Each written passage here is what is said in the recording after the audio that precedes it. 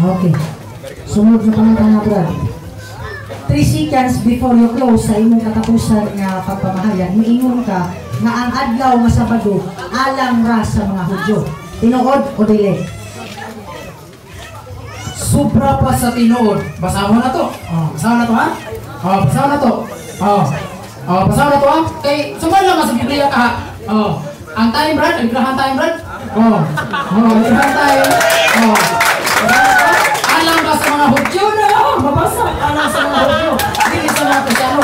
Oh, at lang ipapahulay. Tara. Basahan na to. Adlaw ipapahulay. Brad, stop sa time, Brad? Kaya ako masawang, Brad. Oh, tara. Adlaw ipapahulay ang ikapitong adlaw sa simana Sabado. Giisip nga palaan alang sa mga Hudiyo. Natubag ang pangutana Brad. Kung ako mabasa nga ang adlaw nga Sabado kung adlaw nga ipapahulay gibuhat sa Dios alang sa tawo. Nasa uyon ka, nasa iyo ka. Ang pagkatunay adlaw ipapahulay nga gibuhat sa Dios uyon ko ana. Pero what is good ig Sabado na? Magbuhat og Sabado ha nga pahulay wala mabasa nga Sabado pahulay na. Wa ko mangutana ng butanga. Ang ako bang pangutana nga kung ako mabasa nga ang adlaw ipapahulay gibuhat sa Dios alang sa tawo, muangkon ka nga nasa iyo ka. Nga nunguang ko man ko, di uyon ganito. Nga ang adlaw nga ipapahulay gibuhat, pero wala mabasa sa Sabado ng pahulaya. Kamo pahulay nga Biyernes, doon na Sabado, na sa Domingo. Ang unsa na nga pahulay Sabado ba na? Dili, oh, mo na. Ang ko na sa Mr. Moderator ang adlaw nga ipapahulay gibuhat sa Dios alang sa tawo. Sunod nga pangutana. Miingon ka ganina nga sa Jerusalem dunay tulo ka adlaw nga ipapahulay. Sa tulo ka adlaw nga ipapahulay sa Jerusalem, hain manini ang adlaw nga ipapahulay na iya sa Dios. Sa tulo ka tulo ka ade paghawlay sa Jerusalem, asa man ang iya sa Dios ani? Kining Christian. Kay kining Christian, Dios ko mo rin nagsunod mo ni sa ka sa buhat sa Dios. Ah, Basahan na to. Oh, Jerusalem is the city of three Sabbaths. Friday Muslim, Saturday Jewish, Sunday Christian. Asa man sa Dios ani? Kining Christian. Kay kining Christian, nagsunod man ni sa sugo sa Dios. Iyo, mas gusto Ang akong pangutana, wala ko? Christian na nagsunod sa Dios. Ang ako pang pangutana, sa tulo ka ipapahulay na imong ginganlan dito sa is, ah, sa Jerusalem, hain man sa tulo niini ang gipabalaan sa Dios. kana naging Sunday. Kay mao na pahulay sa mga Kristiyanos. Nga kaning Kristiyanos nasunod man sa sugo sa Dios. Therefore, nakinisan di mao ni ang ipabalaan sa Dios. Sa imong pagtubag, ang Sunday, gipabalaan sa Dios. Balikan nato ang akong pangutana. Niingon ka kaganina nga ang adlaw nga ipapahulay alang ra sa mga Hudyo. Ang akong pangutana, kini bang Marcos 2:27 sa inyong libro nagingon? Ah, ah, Marcos 2:27 sa inyong libro. Tanawa ni Ah, nagingon dere. Marcos 2 27. Oh? Way anyado il, siba, il Sabado, hasido hitso para il hombre. Kung atong basihan ang Biblia, sa Bisaya, ang Sabado gibuhat alang sa tawo. Kamuta na, tawo nga dili. Ang adlaw Sabado, ano ba?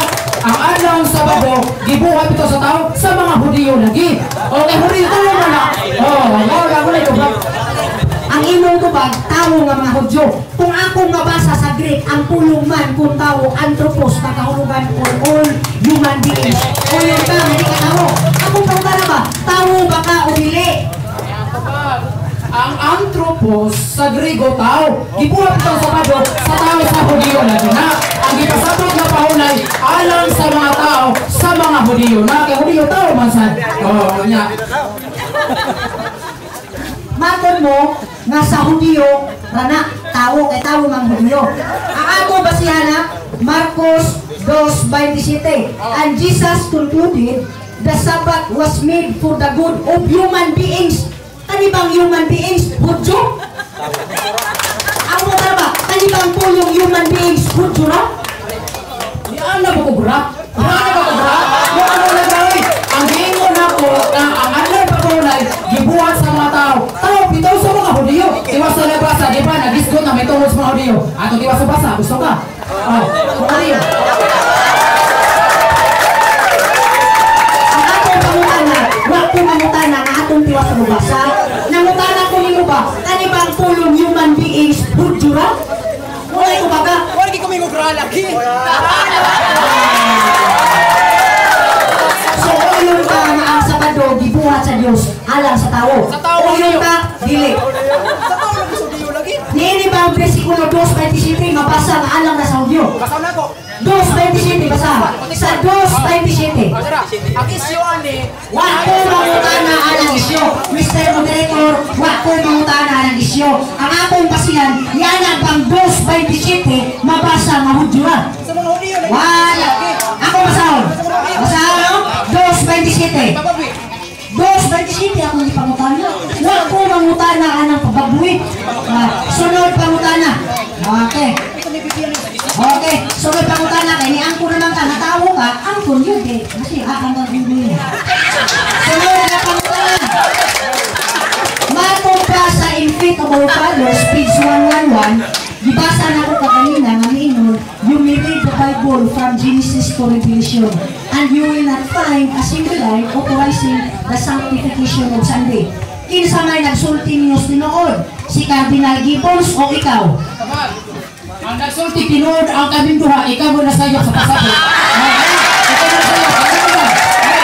Ang ipasapot ni James Cardinal Gibbons, kung litra por litrahon na to, kung litra por litra na to ba, di dyan takabasahan kung litra por litrahon. Pero ang among libro, kung imong tiwas basa na imong Nag-example ang among pare, sa magod pananglit, wa tayo mabasa litra por litra simbaho ng Espiritu Santo.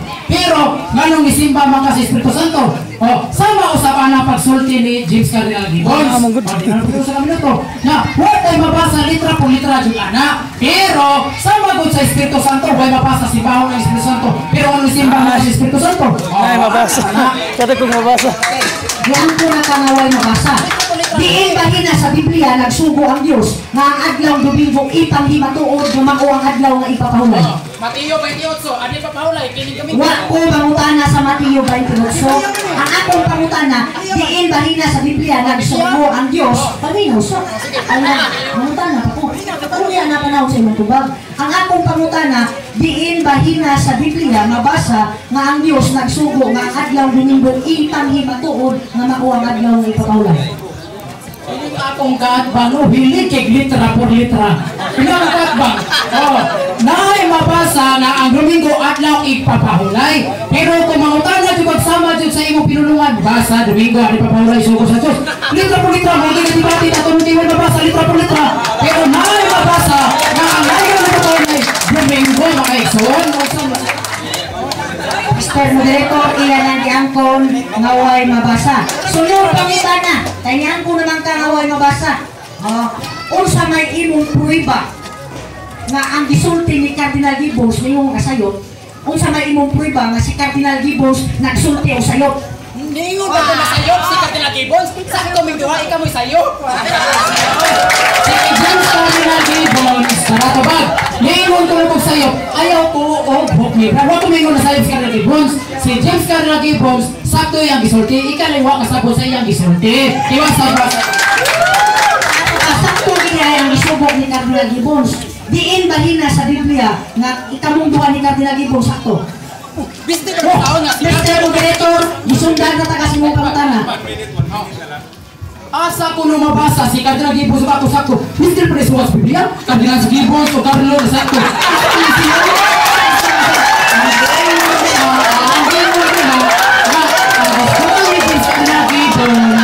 Sakto, ikaw mo yung kasabot mga igsoon. Musa ni sa Bro, niingon ka kaganina, nakamunduhan ni Cardinal Gibbon sakto, na sa'yo. Diin bahina sa Biblia nga nagpruiba, kamunduha sakto, ako sa'yo. Ano yung baga? sakto ang gisulti ni James Cardinal Gibbons. Pero kay kumangita kag litra por litra, muna gipasabot ni James Cardinal Gibbons, litra por litra, di ka kapasa Domingo. Pero, example na si Cardinal Gibbons, sa magudaan ng Espiritu Santo, iwasa pa sa iyong libro, wa kay mabasa Espiritu Santo si Bahol. Pero ano si mga si Espiritu Santo, ang ala na siya. Asus nindot na kayo? Nindot niyo. Na- Manaman, uh, oras naman. Arita sa second stand sa mga igsoon nga si ah, si SDE. Sige kaya bilis. Sige ko bayo ba? Ay ka niya ba? Okay. Okay po si Okay, daghan kayong salamat mga kahigala. Ano? Mr. Moderator, daghan kayong salamat. Mga higala, inyong nadungog ang pagpamahayag ni Brad Carlo kaganina kung naay buslot purol, labaw pas buslot sa purol. Iyan ang giangkon nga si Cardinal Gibbons nagsulti sa tinuod ako ko'y nasayo. Ako sa gipangutana kung diing bahina kamo ni Cardinal Gibbons sakto nireklamos moderator. Mao na mga Brad Carlo, tarong nga sunod ang imong pagpamatuod kung tukma o yung haong sa tima na imong gipamatudan. Balik ko na po mga kaigalaan. Tanawa na kung iyang gamit na bersikulo sa kanuhan ng baro. Ato ni basihan kaning mga bersikulo nga iyang gigamit sa iyang kaduhang baro kung nahiuyon pa ba sa tima nga Domingo adlaw ipapahulay. Naabot siya dito si Pedro Ono. Ah, way mabasa nga dunay asawa pero dunay ugangan. Wa na ni magtima si Pedro dunay bay asawa dunay bay ugangan. Ang imuuntang pamatudan sa daghan ng mga tao, Domingo adlaw ipapahulay alang sa mga Kristiyano. Iyang gibasa kaganina mga higala ang Hebreo 4:7 ngadto sa 8. Ang Hebreo 4:7 ngadto sa 8 nagingon nga kung si Josue nakahatag pa unta o pahulay, dili na lang unta maghisgot ang Dios og laing adlaw. Period. Pero iyang sumpayan og Domingo adlaw ipapahulay. Unsa mga brad, dili kay katamo mo basa niya kay imo man sumpayan. Kanang pagsumpay nimo Domingo adlaw ipapahulay base sa Hebreo 7 ngadto sa 8. Imo ra na. Wa na sa bersikulo. So yung na ang sistema mga igala, mao bitaw nga kapila na to balik-balik ko, kapila na ko sa balik-balik ka sa akong pangutana nga kung imo mabasa na ining bersikulo ha, nga Domingo Ato, video na to. May bayo. Ato, video na. Ato, video na. Kaya primitor, huwag isa'y kuhan. Dili, dili, ako na. Sobrang kalo, huna-huna yung saka. primator. Nag-iwan diri ang Hebreo Ay, 4:7 ngadto sa translation, 8 mga igala, kon si Josue nakahatag pa kanila pahulay. Paano? Iyang supaya Domingo adlaw ipapahulay. Padayon tabasa, ang Dios dili na lang utak maghisgot og ako kung kisa- Pero iyang supaya. Domingo adlaw ipapahulay. Nausa man taani ay mura matag ma-incomplete ang atong pagsabot ba? Kung dunay kalong ibitso, kung dunay kulto, bungagan noon. Brad Carlo, delikado kag maiinsi, ma-incomplete ang imong pagpanabot. So una na mga gala, sunod, wa agad tayo nabasa ni ining bersikulo ang kapitulo nga Domingo adlaw ipapahulay. Tanawang sunod niya nga gidamit. Juan 5:18. Ato rin basahon ng Juan 5:18 mga higala kung doon na ba tayo mabasa ni ini na si Kristo ni angkon nga iyang gilapas ang adlaw nga ipapahulay. Mura po ni siya Hudyo ba nga maghukom ni Kristo nga si Kristo kuno naglapas nga niining 5:18 sa Juan wa kay mabasa nga si Kristo niingon ako naglapas kundi issue lang sa mga Hudyo tungod kay before aning bersikulo nang ayaw si Kristo og masakiton. Pero para niya, si Kristo naglapas na. Iya bitaw gibasa ganina sa Marcos 2:27, ngadto sa 28 nga si Kristo Lord og gasabat hukman na nimong tagiya sa adlaw nga ipapahulay kung naglapas ba siya wala. Nausa naman ka Bertano, maghukom ang kastadya sa adlaw nga ipapahulay. Gibuhat ra ka aron sa pagbalaan sa adlaw nga ipapahulay. Ayaw hukmi si Kristo nga maoy nagbalaan o nagbuhat sa adlaw nga ipapahulay. Tiyaw ra mga higala. Akong gipangutan na tao ka dili. Angkon siya nga tao ko pero iyang sumpayan niya.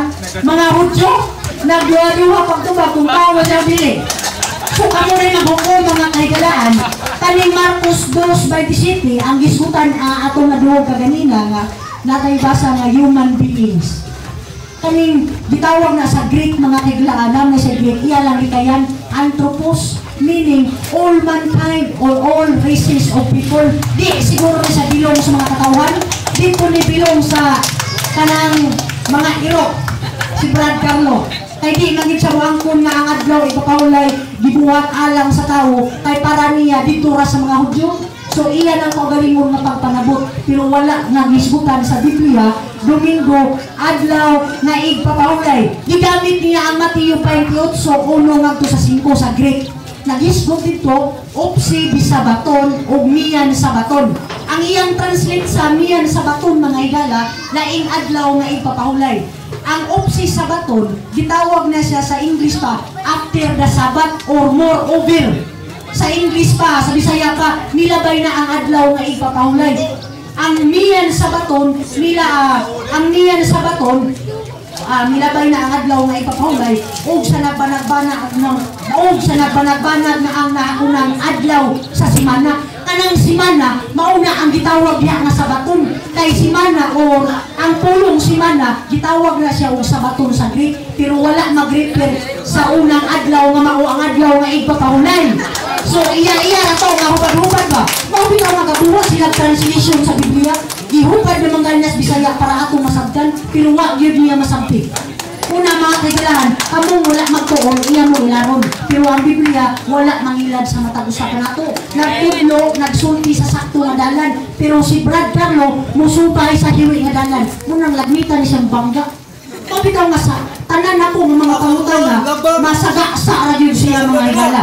Kay iyang giangkon nga wa gyud mabasa sa Biblia nga Domingo adlaw nga igpapahulay. Atong basahon ang hubad diri mga higala. Ha? Sa unang Korinto 14:10 sapagkat tinuod adunay daghan ug nagkalain-laing pinulungan dinhi sa kalibutan.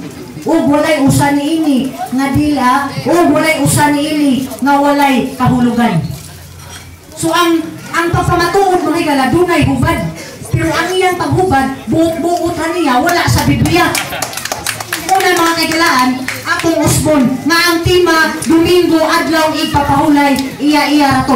Iya mong sa agon ba nari pagwa mo'y Bible nagbuktan sa inyo mo na nga kanang iyang gipanulti inyo nang isulat aron inigabot niyo sa inyo basaha kung doon na ba'y mabasa nga ang Dios nagsugo nga Domingo adlaw ipapahulay nga gibuhat alang sa tawo. Pero si Brad Carlo ni angkon man siya nga tawo ah, di modo ugma o ugma sunod Bernes mo na kanang sunod sa Bernes Sabado mo na. So sila na ni siya. Ako na siya ang Brad Carlo nga sunod basihi ang Biblia. Di mo na bagwa ko mapamatuod litra por litra. Kanang Biblia di pa na litra di na ninyo napamatudan usa sa rason nga nung napamatuod ka tungod kay ang Biblia litra? Ay di pa na litra di na nimo mabasa.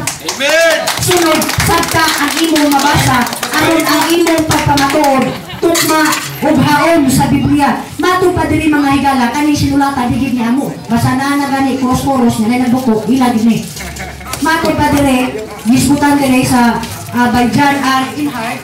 Mato pa diri sa page 11 nag-ingon diri Catholic Church is never called a Christian.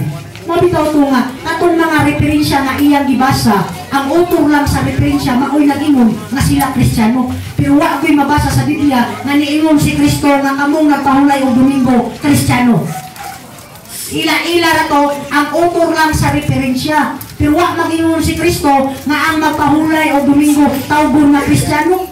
Kaya ang gisgutan ng mga Kristiyano sa Biblia, sa buhat 11.25-26, katong na mahulay ug adlaw nga Sabado. Pero ang ipamatudan ni Brad Carlo nga Kristiyano ang namahulay o Domingo. Matod dire, Catholic Church is never called a Christian. Supaka ni Brad Carlo. Kung muna kay mabasa niya karon nga si Kristo nag-ingon nga ang Catholic Church o ang nagpahulay Domingo, Kristiyano, uyunan ako. Pero wa ka kay mabasa diha nga Domingo nag-ingon si Kristo nga tawgon og mga Kristiyano, ikaw rin maghuna-huna sa imong pagalingon og naunsa ka.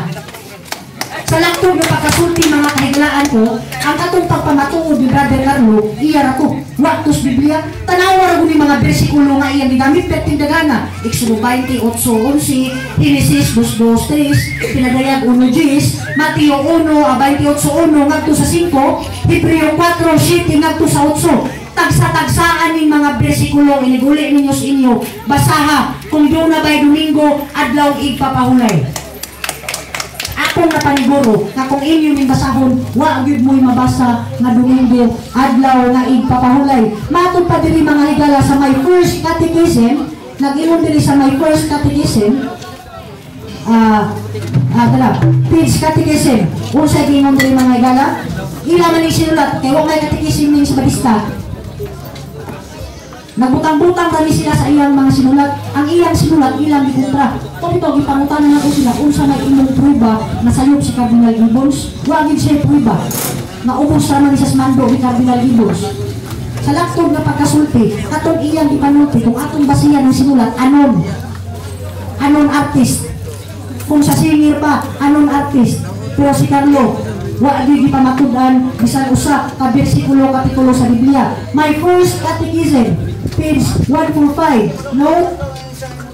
The Sabbath, the holy day, was replaced by the church with Sunday. Mga kahigalaan ko, ang nag-usab sa adlaw nga Domingo sa pagbalaan dili ang adlaw kay adlaw di man mausab. Mabitaw nga ako unta siyang pangutan kung kaganina nga kanibang laing adlaw nga disbutan uyo ni sa mga adlaw sa simana o lain.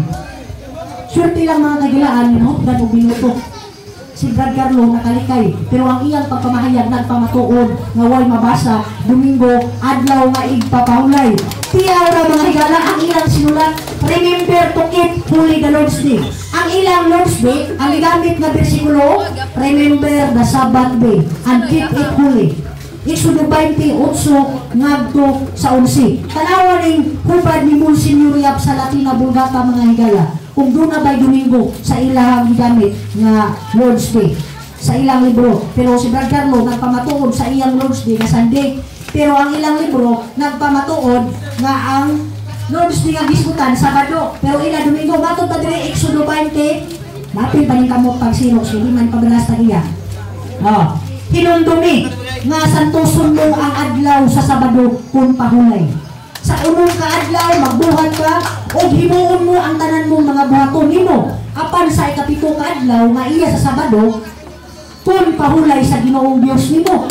Ikapitong adlaw, nga iya sa Sabado, nga pahulay sa ginoong Diyos nimo. Kinsa man ang Diyos nimo, Brad Carlo? Di ba na maong Diyos na nagpahulay nimo sa Sabado?